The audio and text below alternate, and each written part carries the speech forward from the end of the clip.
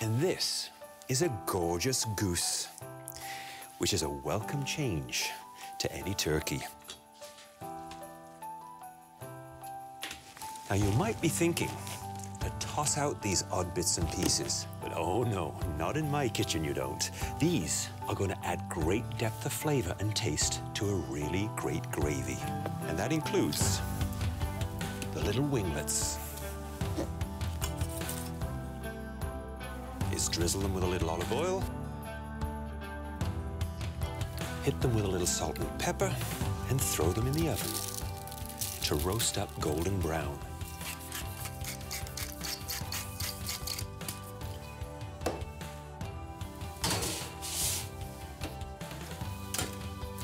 Now, what I like about a good old fatty goose is exactly that.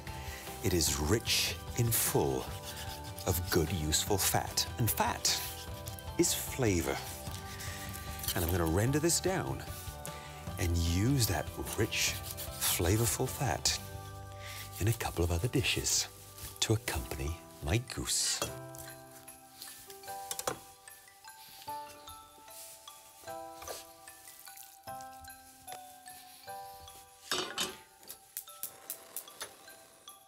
Over a low and gentle heat will allow that fat to slowly melt and render out and become unbelievable. Next step, I want my goose to be a perfect shape. And in order to make that happen, all I do is simply tie the two legs together because that helps in great presentation. It makes the bird sit up and look really wonderful when it comes out of the oven. And literally, it takes a minute to do it. Beautiful. Because the breast fat on a goose is pretty thick, I want to just put a little prick all through that breast fat using a fork at an angle so I don't pierce the flesh beneath. But what those little pricks do is allow that fat to render out, dribble down the bird, almost self-basting. And that fat slowly crispens up. The best part of a goose is that crispy skin.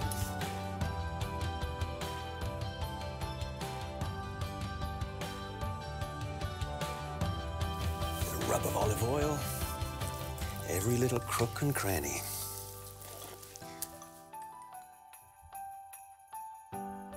Now, the seasoning inside and out of any poultry is so important because it's that seasoning that amplifies those natural, rich, savory flavors of goose, turkey, and even chicken. So season well.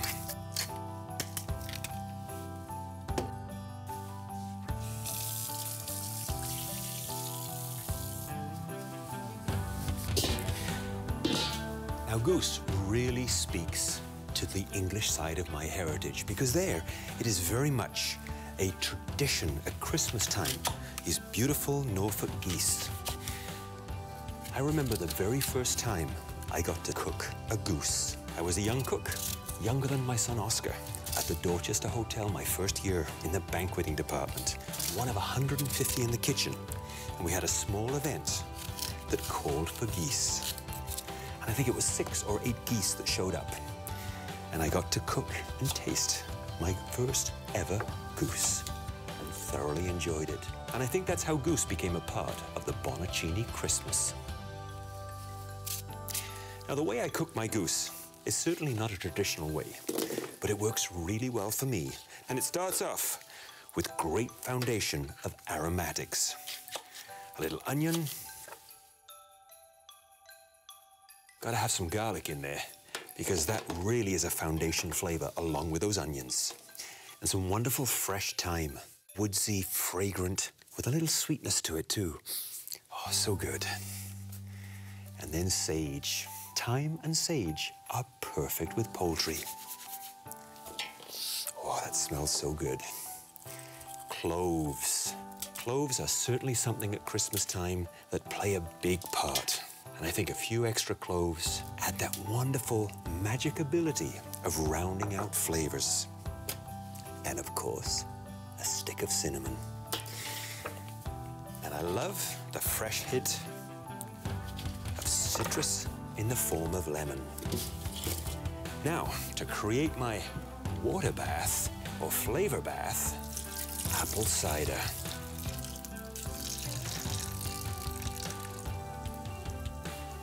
Followed by a little white wine.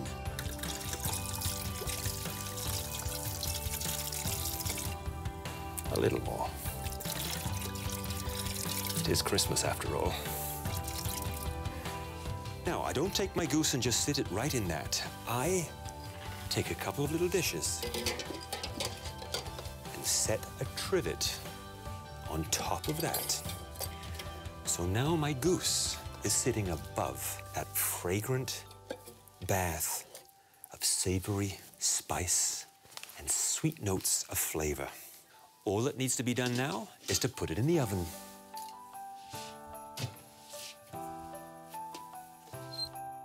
Christmas dinner is one of the most special meals of the year.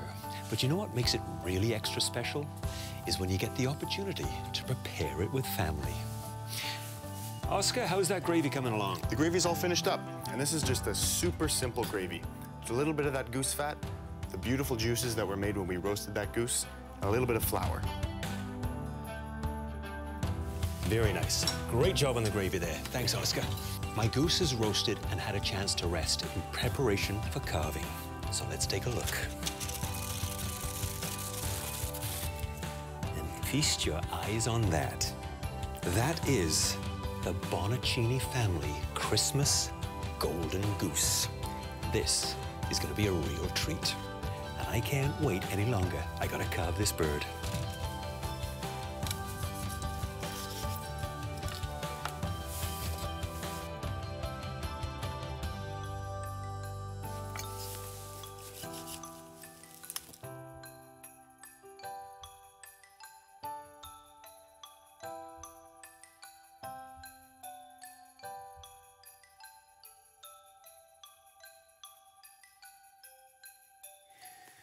And last thing to go on the plate, a couple of winglets, a good bunch of fresh watercress for its pepperiness, and some crispy, green, refreshing apple. Oh, that gravy does smell good. Doesn't it? I'll grab a little of that when you're done there, Oscar. Absolutely. It's all yours. Thank you. And I like to put a little gravy, just drizzle around the edge of the meat, and allow it to soak it all up.